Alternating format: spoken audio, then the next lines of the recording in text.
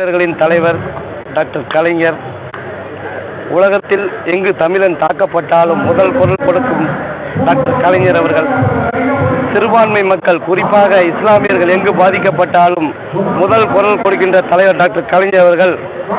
இழப்பு இஸ்லாமியர்களுக்கு மட்டுமல்ல இந்தியாவுக்கு மிகப்பெரிய இழப்பாகும். டாக்டர் கலைஞர் அவர்கள் அவருடைய ஆட்சியிலே பல்வேறு ஜாதியினரை ஜாதியினரை பிற்பட்டோர் பட்டியலில் சேர்த்தவர். இஸ்லாமியர்களுக்கு உருது பேசும் இஸ்லாமியர்களுக்கு பிற்பட்டோர் பட்டியலில் சேர்த்தவர் டாக்டர் கலைஞர் அவர்கள். இந்தியாவிலேயே முதல் முறையாக மூணு புள்ளி ஐந்து சதவீதம் கல்வி வேலை வாய்ப்பிலே இடஒதுக்கீடு கொடுத்தவர் டாக்டர் கலைஞர் அவர்கள்.